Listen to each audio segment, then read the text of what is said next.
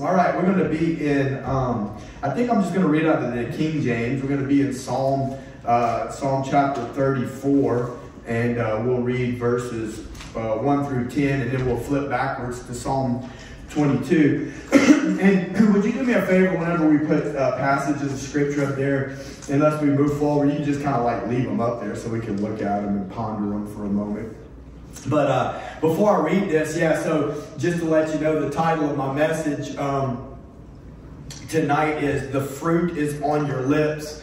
Uh, really, Wednesday, sorry, Thursday morning after John had preached, uh, I woke up in the morning and the Lord put on my heart to preach about the word the words that we speak amen? And it wasn't directly related to his message because the lord started downloading things like james and various things in my heart. But i remember that one of those comments that he made when he said about the little kids being vipers and diapers. And it's kind of like i thought it was kind of funny just because it's talking about the sinful nature. And i mean it's true and it was just a funny way to say it. But i did call him up and i said john tell me you're not gonna that's not gonna be your nickname for your baby. He said, no, dude. I'm like, oh hallelujah. Uh, he said, you little viper, you know, like that. But uh, anyway, praise God. So um, so that was that was Thursday morning. The Lord put it on my heart to talk about this, and so that's the title. The fruit is on your lips. You know, before we get going real good, I do want to say that there's a lot of background information that I would say that connects to this truth. And part of a big part of it has to do with the concepts that we've kind of been spoke, speaking about for quite some time that the earth was created for man to inhabit, and God gave man dominion and authority upon the earth. Amen. He even gave Adam the, uh, the ability to name the animals, and, and he gave, but I mean, even God in his, I mean, I know God is God, but I'm just trying to make a point. He created through speaking the word. Amen. And he said, Let there be light, and there was light. And, and I just want to say that as, as born again believers, becoming sons of God, that in Christ we have regained dominion and authority in the spiritual realm. And I do believe that there is great power in our words. Now, I've overcorrected um, because for various reasons. Like I feel as though sometimes emphasis seems like always the, the, the enemy wants to come in and try to put people's emphasis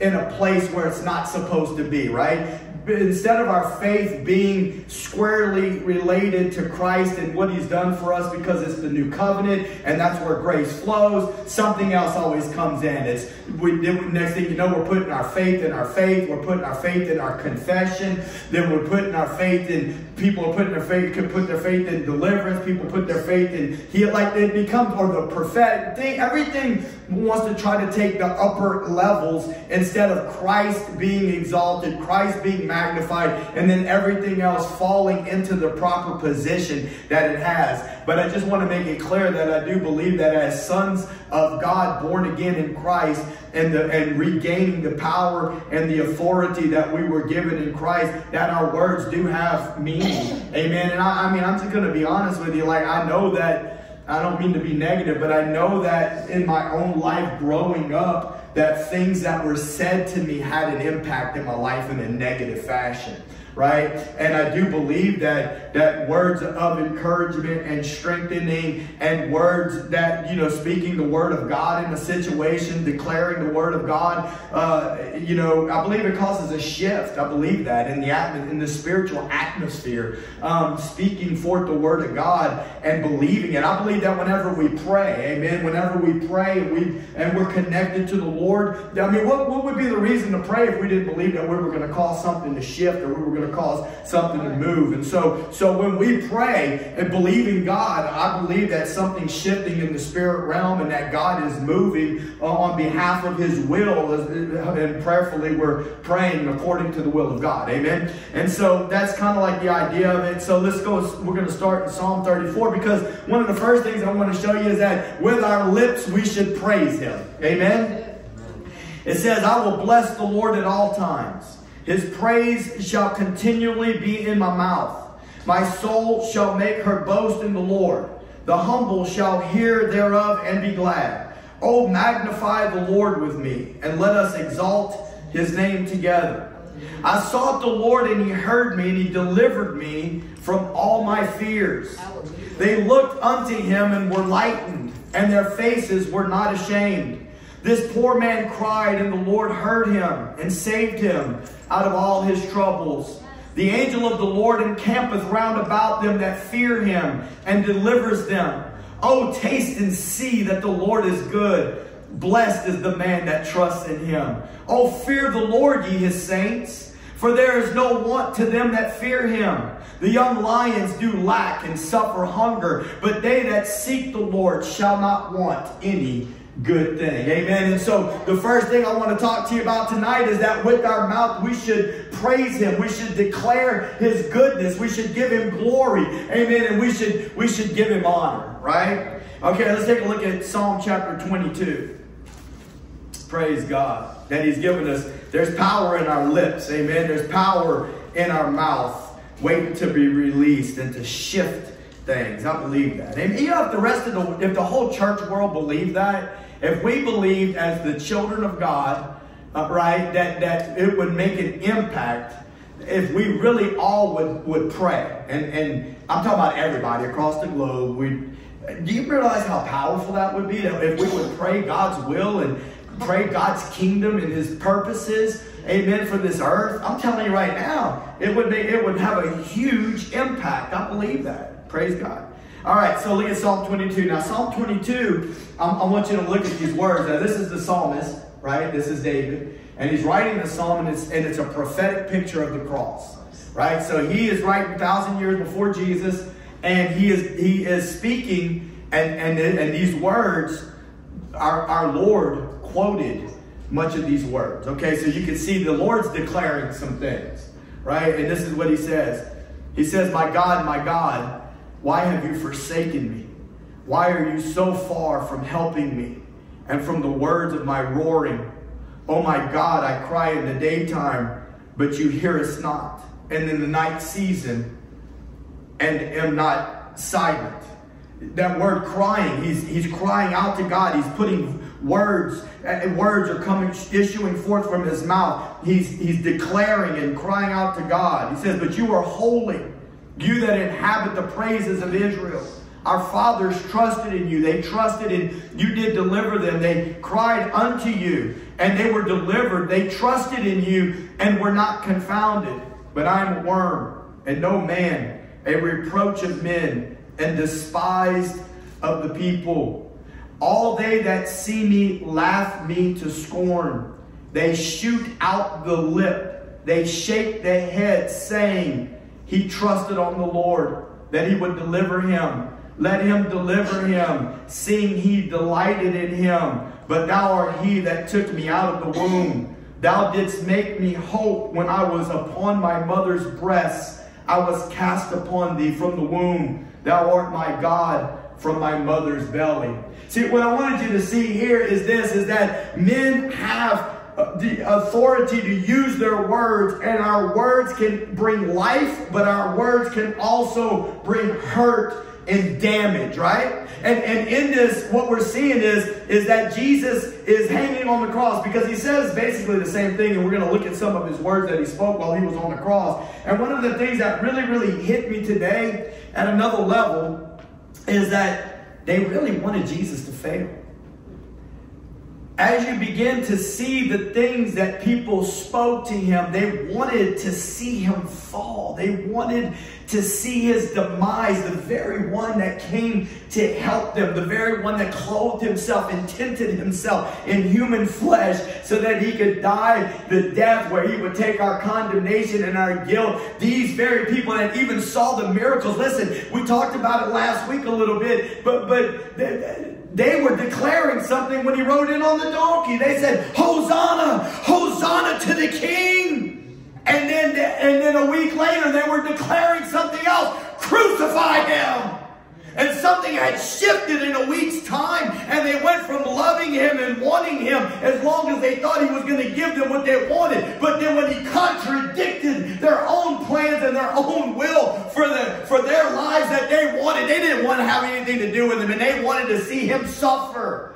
They spoke words that were cruel to him while he was hanging on the cross, while he was nailed there. And they just mocked him and they scoffed at him and they scorned him.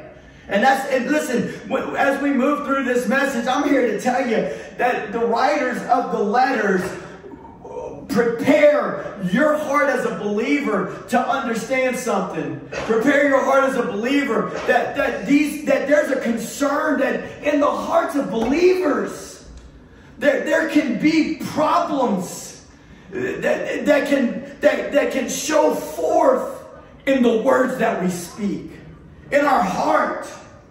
And, and, and they wouldn't have written it if it was impossible for believers to have these problems, right? Let's take a look at man without the help of the Holy Spirit, right? That's not you in here tonight, amen? Uh, but pray to God that we're all saved, that we all have the Holy Spirit living in us. But, but let's take a look at man, you know, without the help of the Holy Spirit. And you know what this is really trying to talk about? It should keep us sober minded, my friend, to know that we didn't just wake up one morning and that all of a sudden, like, oh, we're running after God, right? I mean, I don't know about you, but the Lord pursued me. The Lord pursued me. He came and he found me and he moved upon me. And when he moved upon me, he gave me grace to respond to him. And something that I've learned is this, is that as he moved on me and as I moved on him, there is a truth that says that if we would draw near to the Lord, he would draw near unto us. But I can promise you that the Lord started it. Amen. He started this relationship. Praise God. And I'm so grateful that he did. But but listen, there's people that don't have the Lord. Amen. Uh, and, and, and without God, this is what God says. If I didn't move on your heart, if I didn't, if I didn't initiate this, this romance, this relationship, we wouldn't even, we wouldn't even, we would never be able to be married. He says this, there's none that understand. There's none that seek after God. They are all gone out of the way. They are together become unprofitable. There is none that does good, no, not one. Their throat is an open sepulchre.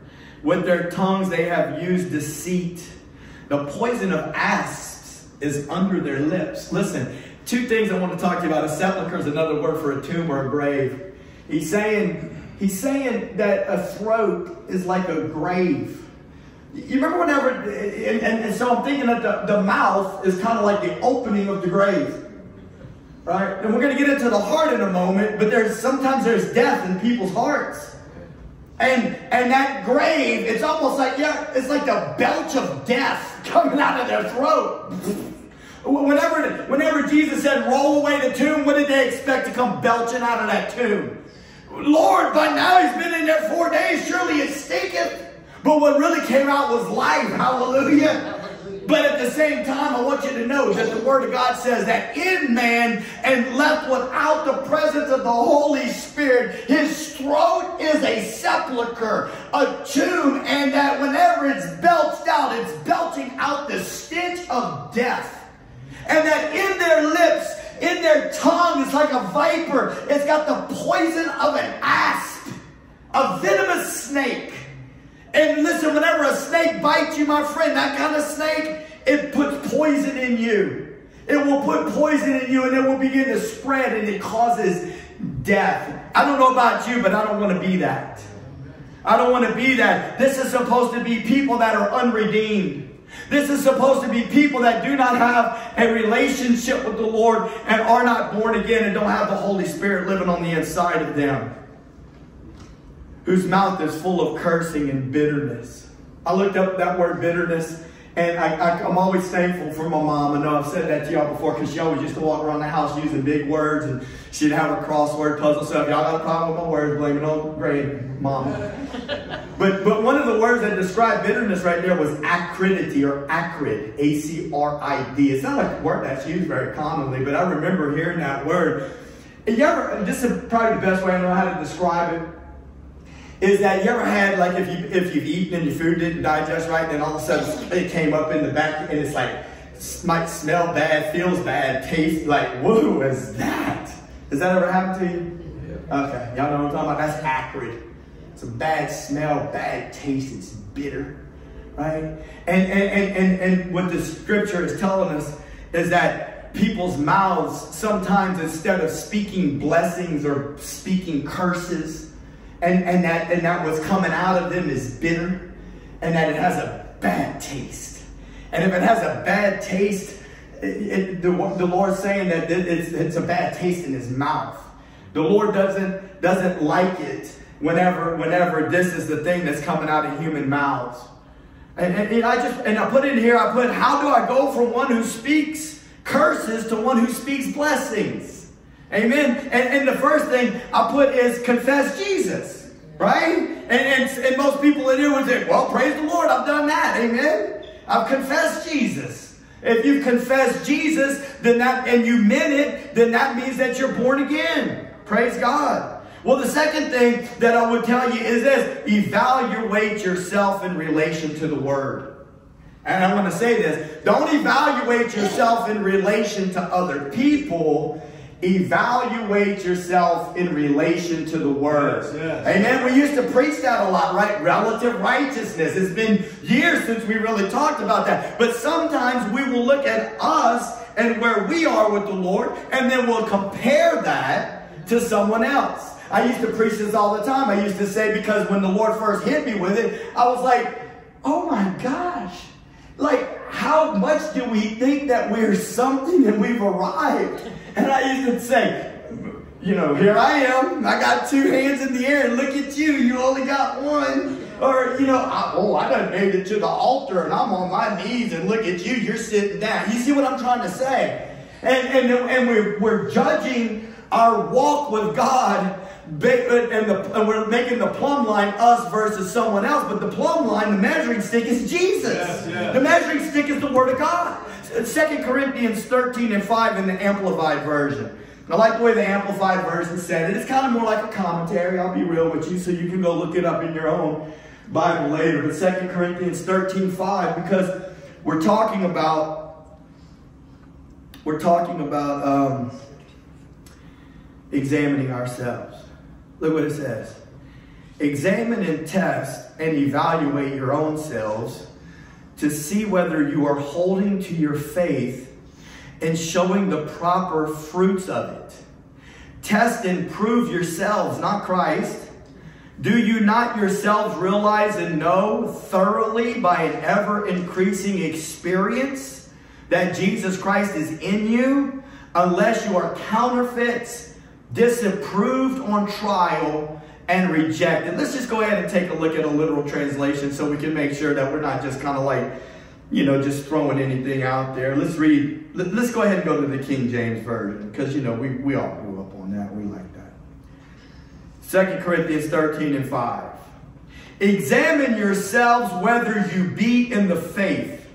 Prove your own selves Know you not your own selves, how that Jesus Christ is in you, except you be reprobates. Now, why would the Apostle Paul write this to a church if there wasn't the danger that people sitting in churches could be counterfeits could be reprobate, could be going through the motions. And I don't know about you, brothers and sisters, but I think that is very important for a pastor that is going to be responsible for every word yes, that he yes. speaks when he stands behind the sacred desk yes. to at least try to encourage people to say, hey, examine yourself. Examine your own heart like the psalmist said. Search my heart, Lord. Try my reins. See if there be any wicked thing in me. I come to you, oh Lord. I bow before you. I thank you for Calvary. You've done everything that anybody could have ever asked. You've proven your love to me, Lord. And I just want to know that I'm okay. I don't think that there's something wrong with that.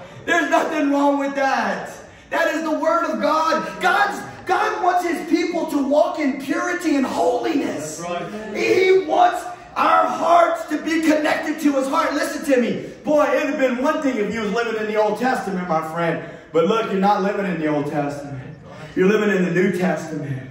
And, and you've been given access to grace. Yes. And not just to be forgiven, but to walk right. Yeah. To talk right. To live right. Amen. Amen. We will be without excuse. And praise God for justification. I'm about to get into some of that in a second. But praise God, I... Uh, you know, confess Jesus. Evaluate yourself in relation to the word. Confessing Jesus is like the planting of the seed. Amen? We talked about that. Sunday, right? The word of God goes forth. It's like a seed. It's planted in the heart. And then now that Jesus tree starts to grow. Amen. That Jesus tree starts to grow. I was telling them guys at the jail today, I'm like, man, I don't know much about gardening, but I remember one time I went to my grandpa's house and, I, and he was growing some tomato plants. And I'm like, what's that piece of metal you got on there? I got to protect this thing, son. I got to make sure this thing grows straight. Stuff doesn't get to it. Listen, you got to protect the seed of the gospel.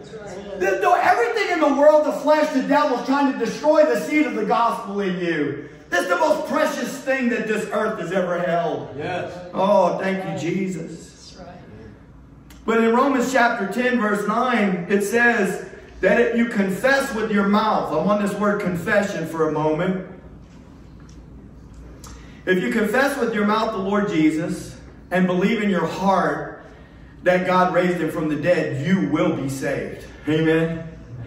I personally believe that confession and heart are the operative words right there. Like, that, in other words, the pivot point, the hinge. The hinge of the scripture is, is located in, in confession, but really the heart. Because see, you can you can believe something in your head, and I know I say that a lot, but I don't know if we say it too much because I think it's important. You can believe something in your head, and I think I even quoted something loud. It wasn't in my notes, but I think I said something about and it was what my sister Debbie, one of the first scriptures she ever told me. You say there's one God, you believe there's one God, you do well, but the devils also believe and they tremble. And I remember, I was like, ooh, you know, I didn't know what to do with that. But you know what? Sometimes we, we need to be shaken up a little bit. See, that's, the devils believe cognitively, intellectually that Jesus is the Son of the living God. They believed it. They said, so Jesus of Nazareth, what have you, you've come before the appointed time to torture us? They knew who he was, but they can't believe with their heart. They can't be saved. See, and so whenever we believe with our heart and confess with our mouth Jesus Christ is Lord, that God raised him from the dead, then we shall be saved. Look at, look at 1 John chapter 1, verse 9. it says this. If we confess our sins, he is faithful and just to forgive us our sins and to cleanse us from all unrighteousness. You see, John wrote in this letter, he says, I say these things to you so that no man may sin, but if any man does sin, let him know that he has an advocate with the Father of the Lord Jesus Christ. In order to get into the kingdom, you have to confess your sin. You have to repent.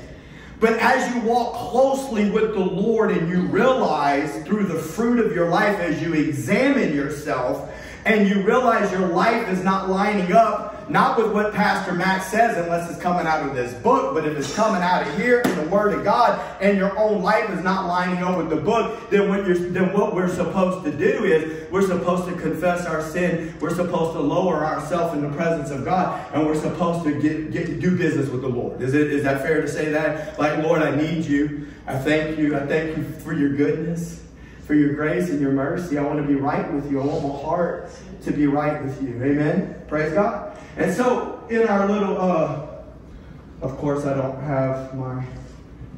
I don't know. They said something about my chalk. Where's my chalk, bro? It's on the desk. Oh, okay. I'm going to get my chalk. See y'all in a second, okay? Hallelujah. all right, we got all kind of chalk, man. Thank you, Lord. All right, here's the chalk. Okay, so we know we did this in our Bible study. We had a few visitors in our Bible study. That was pretty fun, right? And, and it looked like it kind of it, it, made a hit. It looked like Brendan liked it, so I figured I'd throw it in here again. But the word confession, because see, we're talking about we're talking about our the declaration of our mouth. The title of the message is "The fruit is on your lips." It's supposed to be kind of like a play on words, you know in the garden, but then also the fruit on your lips, what you speak, right? And so that word for confession in the Greek language, that's an English word translated from a Greek word, okay? And I did this at the jail today too. I had my little marker. So this is the first part of the compound word of confession in the Greek. Now, how would you say that word right there? Most people would say homo, right? Because that's how we're used to recognizing it, and that's why I wanted to leave that up there for a second. In the, when you're pronouncing it in the Greek language, it's homa, but that's what it means. It's, it's homo, okay? And so the second part of the word is this. So it's a compound word. It's one word. logia, homologia. Okay? So if you split it out right here, then what you have is you have same, say. So it's a so the most literal translation that you could really do here is you could create a new word and you could say same say. Okay? Same say. And, and if we were going to really break it down to where it's actually English, then we would say say the same thing.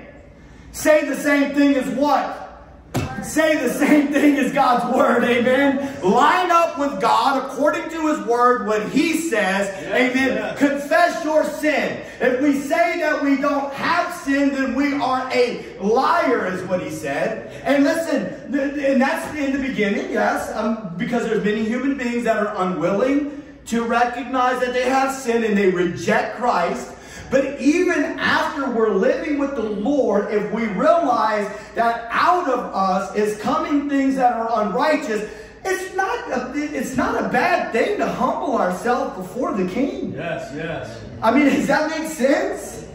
To humble ourselves in His presence. Amen. All right. So let's take a look at a couple of scriptures because I want to build a foundation for, in a moment. So in Romans chapter 4, verse 3, it says this. What says the scripture? Abraham believed God. I think I'm in the ESV, I don't know. But anyway.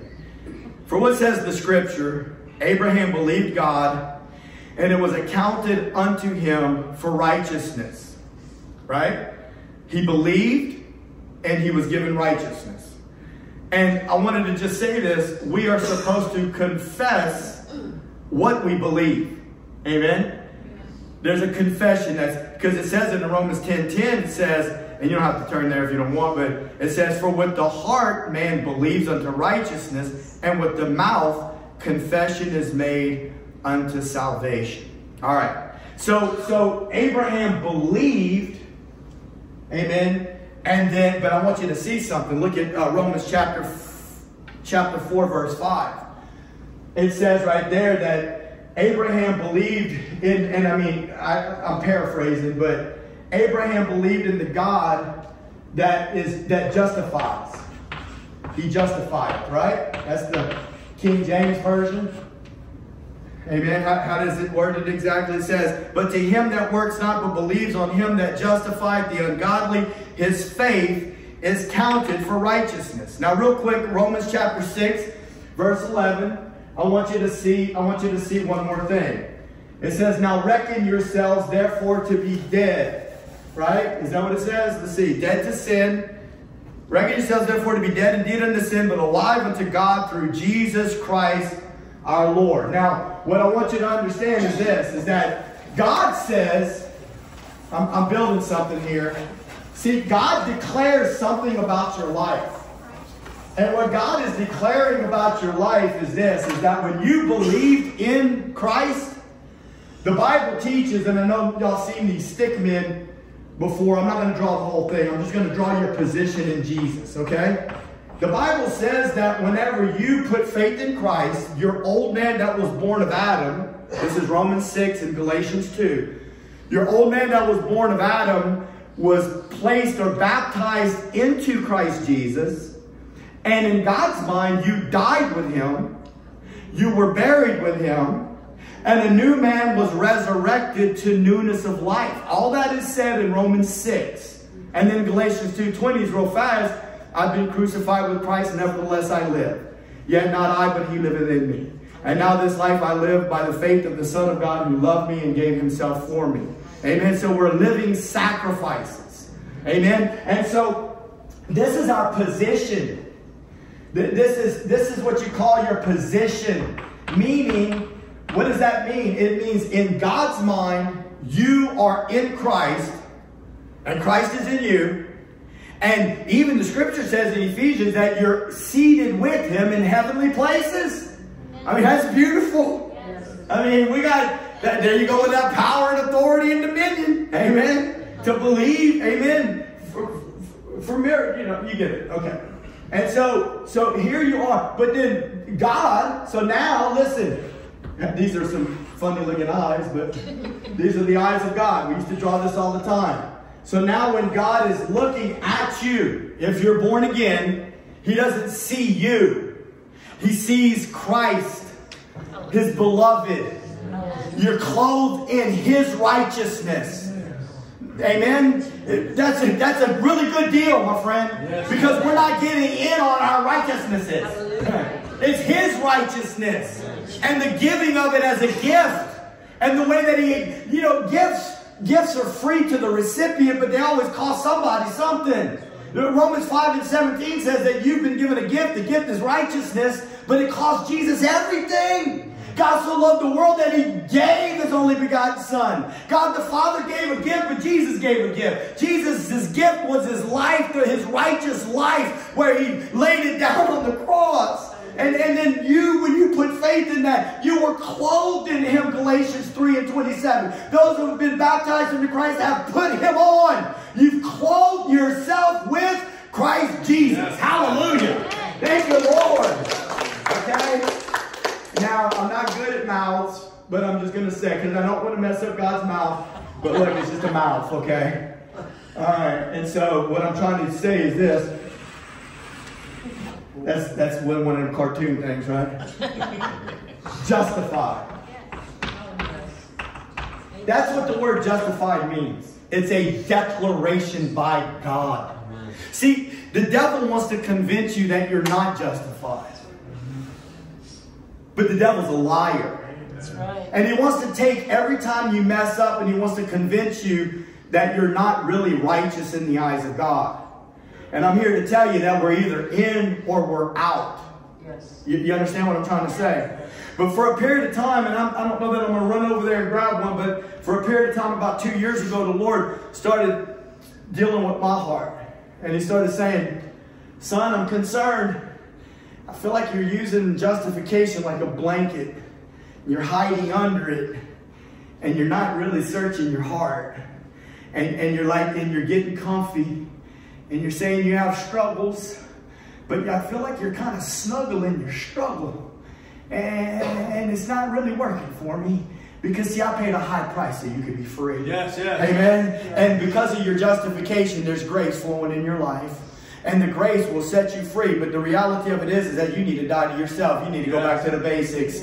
You need to die to your flesh and the desires and your own wants. Amen. And you need to let me have my way because I purchased you. I, pur I purchased you with my son's blood. You don't belong to yourself. You are not your own. And you were bought with a price. And now you belong to me, son. And I need you to give yourself to me. And this is part of the process of dying to self. If we're going to flesh this thing out, but like, what does that even mean? How do I die to myself? Okay, if we're to make it real, when, when we examine ourselves according to the word and our life isn't lining up, let's start, with let's start with Pastor Matt. Come on, Pastor Matt. You know you got some stuff in your life that you need to let the Lord kill.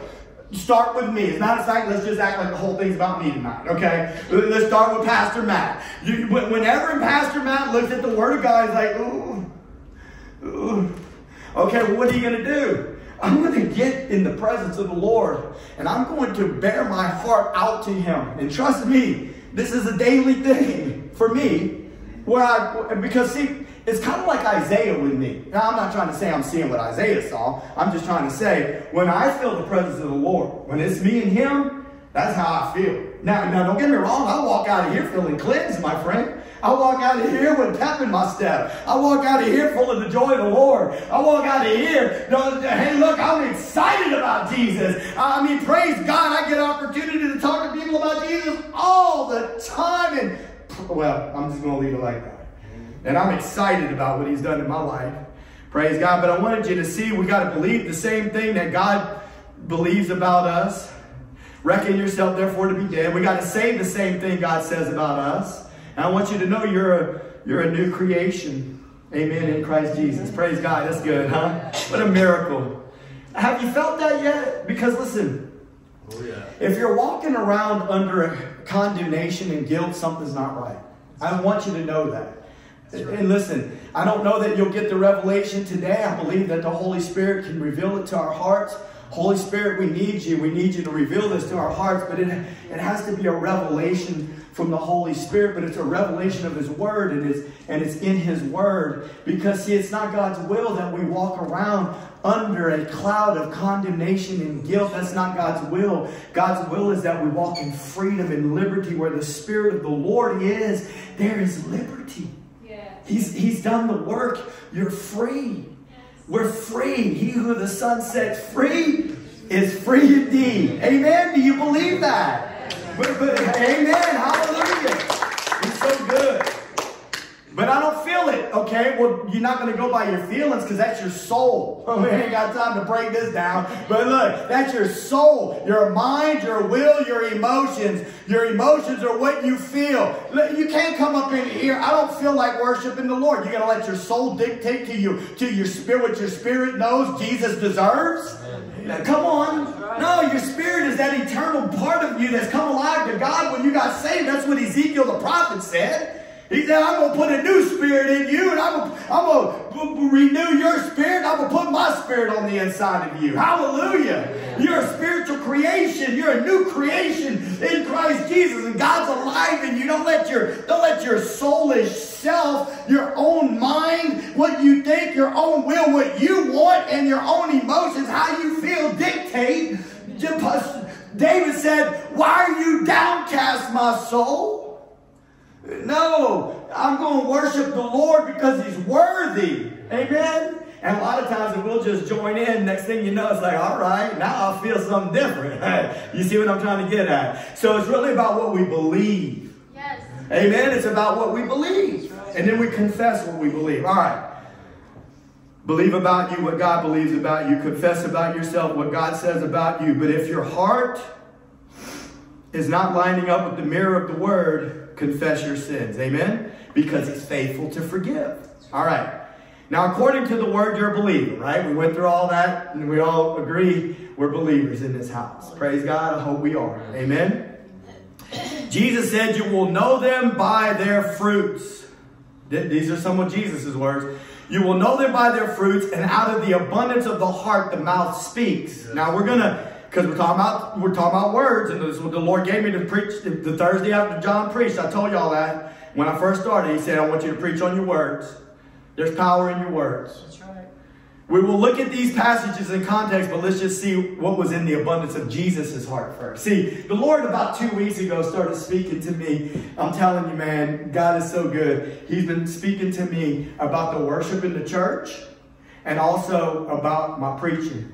And I feel like I've been preaching the gospel, but I feel like he's taking me to another level. And what I feel like he's trying to tell me in my spirit, it's been going on for about two and a half, three weeks, is the same thing that he's been telling me, but I don't know that it's been coming out. You know what I'm getting at?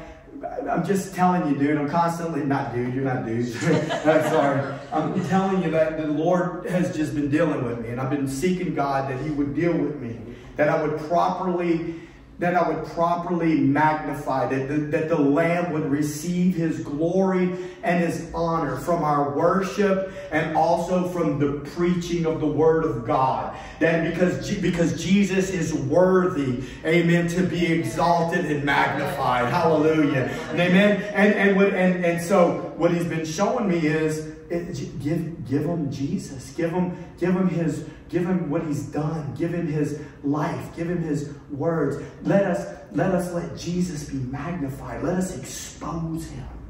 And let us learn of him. And let us, let us become intimate with him. Let him grow in us. I've been, for about the last two months, I, I mean, it's just becoming more real. I've been talking about Christ being formed in us. The circumcision of our flesh, getting rid of us so that Christ can be formed in us. John the Baptist, I must decrease. So we've been preaching that for years, but he's just bringing it to a whole other level in my heart. Like, he's worthy. He's worthy. Amen. He's worthy to receive glory and honor.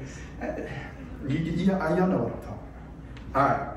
So you, one of the things I want to say is this is you can really learn a lot about a person whenever they're caught in a bad predicament. you ever notice that? Help us. You know, look, about last last week, last week I did a little fast. And I prayed almost every day I was fasting, that, that, that the Lord, okay, I'm gonna tell you what I prayed. I said, Lord, Father, I said, Father, give me the heart of your son. And look, he I'm telling you, I didn't hear him speak to me, but it was like it was like he reminded me. And what he reminded me of was about in 2002, 2003, I prayed that prayer. And I've told y'all before that I prayed that prayer. But he reminded me. He didn't say it again, he just reminded me of that moment. And what he told me in 2002, 2003, when I prayed that prayer, he was like, Do you remember what they did to him? Because, see, when we pray prayers like that, you, you know what I'm saying? And listen, let's face reality. We, our level of persecution in America, come on. You, you understand what I'm getting at? But see, if we're going to have the heart of the Son, there's going to have to be some, some things that are going to have to take place in our heart. And, and in order for that to happen, a lot of times there is, there is going to be painful circumstances and situations that are going to take place. And, and what ends up happening is the question is, how will we respond in those circumstances? Right? I don't know about you. I mean, I sing this song sometimes. He's still working on me. I'm not using it as an excuse. Took him just a day to make the moon and the stars, Jupiter and Mars, but he's still working on me. Amen. I'm a work in progress. You're a work in progress. And one beautiful thing about the church of Jesus Christ, hallelujah, brothers and sisters in the Lord, is that we're long suffering with one another. We prefer our brothers and sisters over ourselves because that's the heart of our master. Amen. He laid his life down. Jesus said, I can, Son of Man came not to be served, but to serve and to lay his life down as a ransom for many. And so that's what we do. We long suffer with one another. We pray for one another. We encourage one another if we're the family of God. Right? Amen. I believe that. That's the word of God. Yes, yes. So you learn a lot about a person whenever you see him in a situation, right? But let's take a look at Jesus. Lord, help me to get through this. I'm just going to kind of go quick. These are the seven statements of Jesus on the cross. Because you see, you can see in his heart, and we're not going to turn to him, but I just want to tell you, he said, Father, forgive them, for they know not what they do. I was really thinking about that and pondering that. It's like a lot of times whenever people do things to you or we do things to other people, we don't even really, if we're going to be fair with one another, there's a lot of times that we don't even realize the effect that we're having. It's almost like if we're going to give somebody some credit here and believe that they're truly believers, right? A lot of times when we do things a certain way, we, we may not have even realized what we were doing if we're going to give people grace. Amen. And but I, but I want you to know that this, you know, look, Jesus rebuked Peter on the day of uh, I'm sorry, not on the day of Pentecost, but Jesus rebuked Peter before he even went to the cross, right? And said, "Get behind me, Satan." But look, Peter still after the day of Pentecost, look, after he preached the message, 3,000 people got saved. After he preached the message, 5,000 people got saved. After he walked to the gate beautiful and told the lame man, and he said, And silver and gold have I none, but such as I have give I thee. In the name of Jesus Christ, get up and walk. Hallelujah. And he went leaping and dancing and praising God. Even after all that, Peter finds himself, according to the Apostle Paul, in Antioch, playing the hypocrite. Yes, yes causing division in the church. So much so that Barnabas, the son of consolation, was driven away with his hypocrisy. The Apostle Paul had to, had to call him out in public because he made a public discrediting because he used to eat with the uncircumcised. But then when the brothers from James came, he played the hypocrite. Yes, yes. That's Peter. As Peter, after Pentecost, filled with the Holy Ghost, healing people, his shadow. Shit, come on, what kind of anointing is this? His shadow healing people. And look what he does. It's in us. It can still yes. be in us. That's right. Yes. Amen. Help us. He said, Today you will be with me in paradise. Right? I think to myself, what had to happen in order for that statement to be said? something happened. There was a change, right? Yes. Isn't that what the word repentance means? A change of the mind? Yes, yes. I mean, I preach this, dude. I can tell you that scene is beautiful. You sit there and you watch it. Here's Jesus hanging, and he's hanging naked on the cross, and the, and the world is like wagging scissors. They're wagging their head. Look at you. I mean, dude, they had hate in their heart towards our Jesus. Look at you. Oh, big mouth. what you gonna do now, nailed to that cross? You said you said you were gonna rebuild the temple in three days. You can't come over now, big boy. Mocking him, laughing at him, scorning him. It says that in the beginning of the morning, that both of the thieves were saying the same thing. But at some point in time, yes, that other yes. thief had to change of heart. He saw something in Jesus. Yes. He saw the love. He saw the compassion. He saw the way that he that he, he listened to these different words that he was saying. He saw what was coming out of Jesus at this worst moment. He, he said, Oh, let, let me have your kingdom. You're going to be with me in paradise. Hallelujah. Hallelujah. Had to change your heart. Praise God. Oh, what a, dude, what, a, what an opportunity to be crucified next to Jesus. Huh? Wow. Oh, man, thank you, Jesus.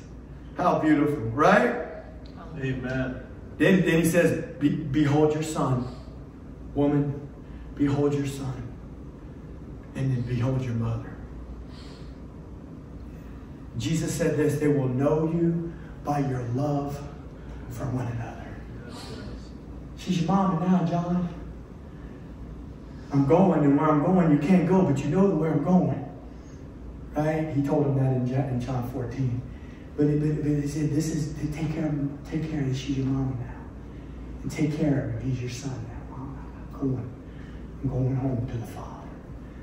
And, and, and for you and I, we got to understand God wants His love. He wants Jesus' love to come out of us. Amen? He wants the real love of Christ yes, informed yes. in us. And that we would learn that even in the bad times and the hard times, that we would die to self and that Jesus would be yes. produced, the fruit of the Spirit. Amen. Thank you, Lord. And he says, My God, my God, why have you forsaken me? I preached on that Sunday, so for Tom, I'm just going to, that's a good one. He was separated because not because of his own sin, but because of Matt's sin. Yes. But then this one hit me a little bit different. He said, I thirst. And as soon as I looked at that one last night when I was laying in the bed, I could hear the Holy Spirit saying, I thirsted for you. Will you thirst? Will you hunger and thirst for my righteousness that I paid for for you? I thirsted on the cross for you.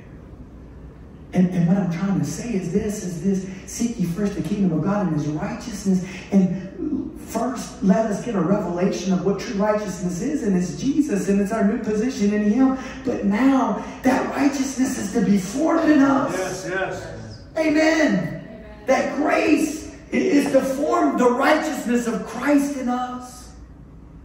Thank you, Lord. Yes, yes, hallelujah. Man, he said it is finished. Boy, that's a whole mouthful right there, right? He completed the work. He sat down. Amen. Oh, them other priests can never sit down because their work was never completed. Jesus sat down. It's a finished work. You got to learn how to believe in that and trust in that. He did it. It's done. The Word of God says it's done. It's yours. You got you got to believe it, and you got to reach out and grab it. I don't know how else to say it. You got to reach out and grab it by faith, my friend. You need to get into the Word of God. You need to let the Word of God have its way in your heart. Yes. You need to reinculturate yourself. This world's trying to lie to you. Come on, all right. Come on. Y'all know what I'm talking about. And then he says this: "Into your hands I commit my spirit." You know, the scripture that says he's the author and the finisher of our faith. And in that word author, one of the meanings of that word is a pioneer. Can you imagine Jesus, our pioneer. I think about that when I think a pioneer that's traversing an area where nobody's ever been. He crossed over, man. He, he was the first one that crossed over for us. He crossed that spiritual Jordan. He said, My Father has given me the ability to lay. He said, No man takes my life. That's right. My Father gave me the, I can lay it down, I can pick it back up. Yes, yes. And but he had to trust the Father. He said, Into your hands I release my spirit. I don't know what you're going to face before you die, but I want to tell you something you can you can trust.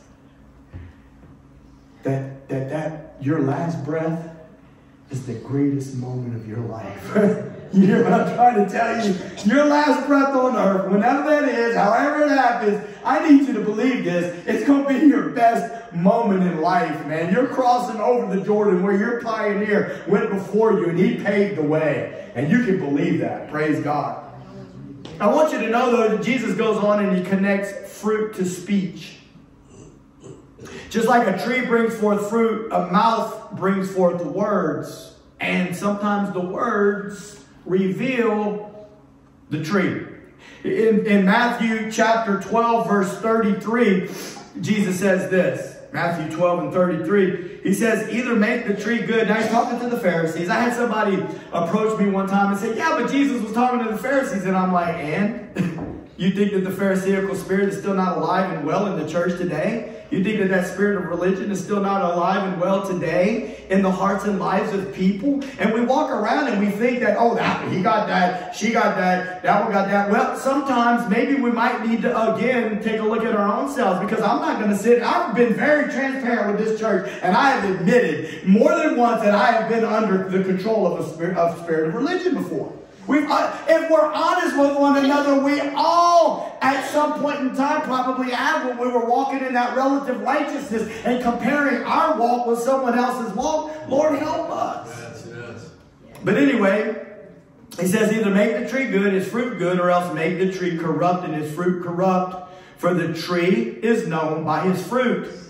O generation of vipers, how can you, being evil, speak good things? For out of the abundance of the heart, the mouth speaks. So now, boy, now we're getting somewhere with this. Because see, if the throat is a sepulcher, and the opening up of the mouth is the rolling away of the stone of the tomb, the death is really coming from the heart. Whenever those, those words are coming forth, come on, somebody, help me out here. Because I know I'm not the only one that's ever spoken words of death as a believer and not in this house. I know that we've all done it. Yes. Okay? And whenever those words come forth like that, and it's the stench of death coming off of our lips, we need to take notice of that. Because see, what's happening when we hear those words and we realize the words that we say, do, have you ever said anything that you regretted after? Oh, I mean, did that happen recently in your life? I don't know. I mean, I'm just asking. And if it did, how did you handle that? Did you contemplate that? Like, why do why does that come out of my mouth? Why why does that happen like that? I mean, because I do. I mean, I'm over here like trying to look at my heart, like, Lord, why? What's going on here? You know? And, and, and I think that we need to, so anyway, you get it. Out of the abundance of the heart, the mouth speaks. A good man out of the good treasure of his heart brings forth good things. An evil man out of the evil treasure brings forth evil things. But I say unto you that every idle word that men shall speak, they shall give account thereof in the day of judgment. Yeah. Wow. Wow. I mean, that's even worse. That I mean, that's even more sobering for me. amen. I'm just being real. Like it's coming really alive to me here lately. You are going to give an account, son. That's right. That's serious business. Yes, yes. Y'all pray for me, please. Pray that I pray that the Lord's heart would be formed in me. That's what I need. Amen. I need the Lord's heart. I'm praying it for myself. I don't want to do it wrong. You think I want to stand before God? Dude, I believe this thing's really to happen. That's not, this ain't some play game for me. I am convinced that Jesus is real. And I'm convinced that I'm going to stand before him. And I'm convinced you're going to stand before him. Each and every one of us is going to stand before him. And I'm convinced that in some way, shape, or form, I'm going to be held accountable for the encounter that you have with Jesus on that day. Yes, yes. But look what it says every idle word men shall speak, they shall give account thereof in the day of judgment. For by your words, look at this, by your words you shall be justified, by your words you shall be condemned. Wow. This, this scripture came alive to me in a whole nother way today. Because look, I'm trying to tell you something.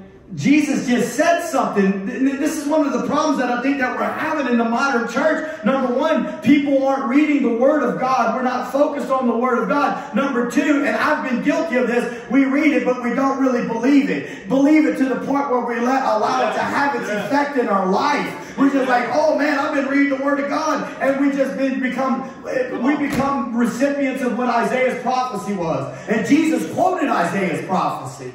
What, what, what, did he say? Jesus quoted Isaiah's prophecy. He said, Speak forth the word of God until their hearts become fat. Yes, yes. Kids sit in churches in America and they've been hearing the word of God over and over and over again. And so much so that they form calluses on their heart. Their heart gets fat and the word of God's not penetrating their heart. What do we need to do? We need to pray for our children. We need to pray for our loved ones. We need to pray for our youth. Lord, shake us. We need to pray for ourselves that we wouldn't have heard the word of God so much that we've just gotten casual with it. Yes, yes. Lord, help us. But what I wanted you to say is that he's saying something here. He's saying, by your words you will be justified. Well, what does that mean? Does that, I mean, no, no, Lord. That's, no. You said that if I put faith in your in what you did that you would account it as righteousness for me and that when that happened that the father declared that i'm justified. So it can't, it can't be both. No i think there's something going on here. Yes, yes. i think there's something going on here and what's going on here is that sometimes if perpetually the words coming out of our mouth are not lining up with the word of God, then we have to question our hearts. Yeah. We have to question our lives. Yeah. We have to question what is going on. Why is what I'm speaking not lining up with the word of God? Somebody better, somebody needs to help me. Because Jesus said it right here. Yes. He said, You're going to be justified or condemned by your words. So what I'm trying to say is this, and we can close. I'll go ahead and get Rich to come up here. I had a lot more to give you, but we'll be thankful for people's time. What I'm trying to get at is this, is this, is that, man, God has done a great work. And the seed of the gospel's been planted in our hearts. But there's an ongoing work that's taking place in us. And it's at the end of 2 Corinthians 13, I believe, the last verse. It says, in the fellowship of the Holy Spirit. And I'm telling you right now, grace of the Lord Jesus Christ. And look, this is the ESV version. It says the communion of the Holy Spirit. King James Version says, I believe, the fellowship of the Holy Spirit. And the word in the Greek is koinonia. Y'all heard me talk about that word over the last two years so many times. And you know what the word koinonia means? Joint participation. You and I have to participate with the Holy Spirit as He's working in our heart and in our lives, as He's revealing truths to us. Listen, let's examine our hearts, amen, according to the Word. And let's examine the fruit in our lives. And let's just do business with the Lord. Amen. Thank you, Jesus. Thank you, Lord, for your work in our hearts and in our lives. We give you glory, Lord. We worship you. We thank you, O precious Lamb of God. Thank you, Lord. Thank you, Jesus. Worship.